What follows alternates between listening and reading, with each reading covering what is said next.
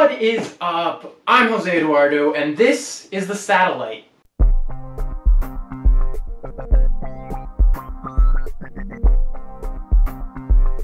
Today I want to talk to you about Generation Latino, why we are starting this vlog, and what Trump's proposed budget means to you as a young Latino living in Colorado. There are two questions I want to tackle with this vlog series. The first, how do conflicts get resolved during a time of such polarizing views and toxic trolls? They're toxic, the trolls are toxic.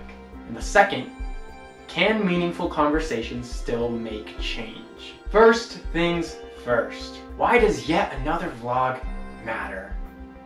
Well, because this one is for you. It's by young Latinos for young Latinos. Every week, I'll cover relevant issues that impact your life and in a way that makes sense. I want to start conversations, and with each new episode, I'll introduce you to other young Latinos like yourself working with local organizations to fight for a better Colorado.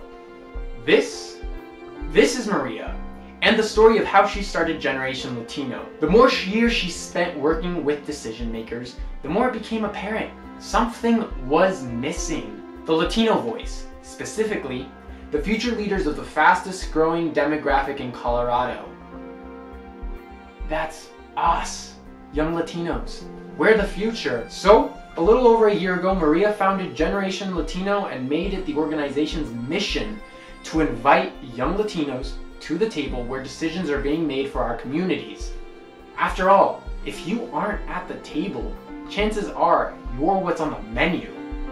So, here we are, making our voices heard. Check out our video of Maria's story here, and follow the links below for more information about our organization. So, where do I, a 21 year old art student, come into play? Good question. In truth, if it were up to me, I'd be doing nothing but making art.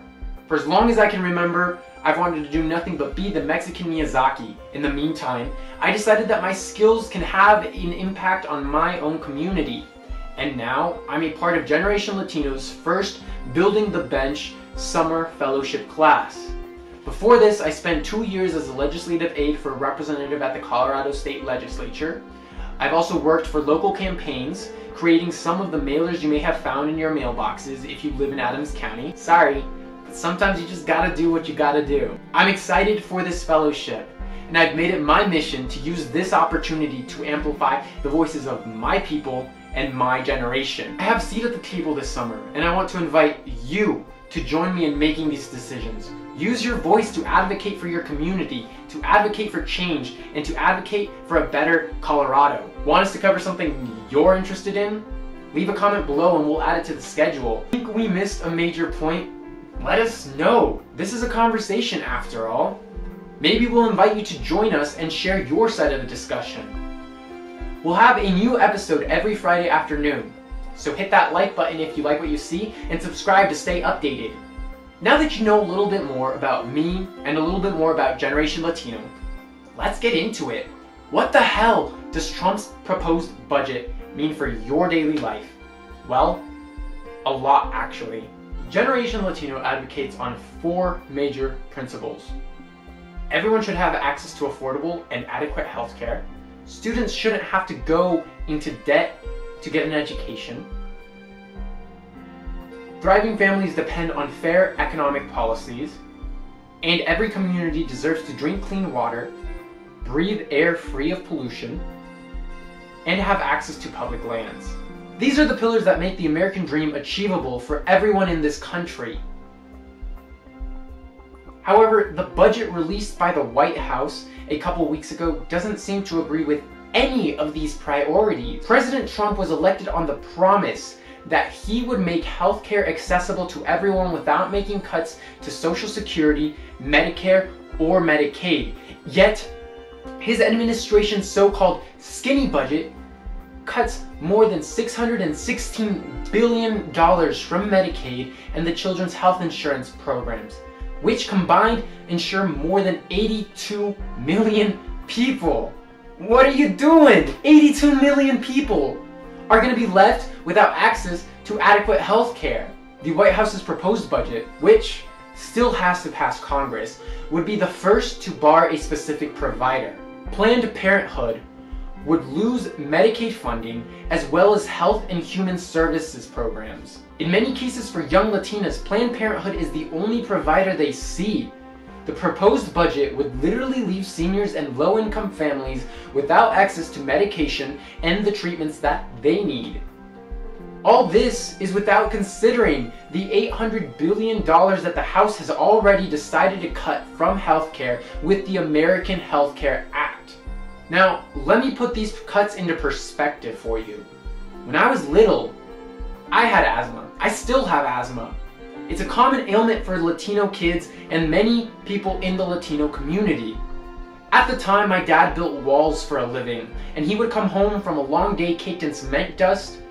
Sometimes my parents were so broke that they couldn't afford my medications, and I'd go nights without sleeping because if I did, my lungs would close up literally. For the 40% of Latinos who have asthma, this budget would be a leap backwards if it gets past Congress. Who does this budget help if it's not helping low-income communities and Latinos struggling to get ahead in life? Meanwhile, the administration also wants to make getting an education tougher for young Latinos. Federal spending on education would be cut by at least 11.6 billion dollars. This includes slashing K through 12 programs like free school lunches for the kids who go to the elementary school a block away from you, as well as higher education programs like subsidies for the federal loans you and your friends considered when contemplating the big college decision. It gets even more difficult when after school and summer programs are being eliminated entirely. Now, your kids, if you have them, don't have anywhere to go while you work. And it gets even more difficult when after school and summer programs are being eliminated entirely. You can't leave your kid at home alone while you go to your 9 to 5 to put food on the table, to pay for rent, and to pay for those bills. If life-saving medication is out of the question, then so is a babysitter or a daycare. These are the very programs that enable young Latinos to thrive, which means we'll be hit the hardest. But again, these cuts still have to pass Congress. The proposed budget doesn't stop there. Colorado's federal offices are in the direct line of fire, specifically the EPA, NOAA, NIST, and NREL offices here in Colorado. Thousands of jobs within those departments are on the chopping block, as well as the important air, water, clean energy, and climate research they do. Not only will Colorado's economy suffer from the loss of these jobs, but so will our children. After all, studies show climate change and pollution disproportionately harms people of color more than predominantly white communities. Want to know where we stand after President Trump pulled out of the Paris Climate Agreement? Check out our response from last week here. And finally, President Trump has requested over 5 billion so far to build his wall, as well as an increase in immigration enforcement and ICE deportations. This does not include the 21 billion he will need to finish the wall. From reading this proposed budget, you would never know that the rate of illegal crossings is at an all-time low. Consider this. 40% of Latino children have asthma or some sort of chronic pulmonary condition. One in four Latinos live in poverty. Latinos will be hit the hardest by this proposed budget. Now is our chance to advocate for change. We have the opportunity to make our voices heard by calling Colorado's congressional members and asking them to vote no on the White House's budget proposal. If you are willing to work hard, you should be able to attain success. That's the American dream healthcare, education, financial stability, and a clean environment set the foundation for that dream. Now you know.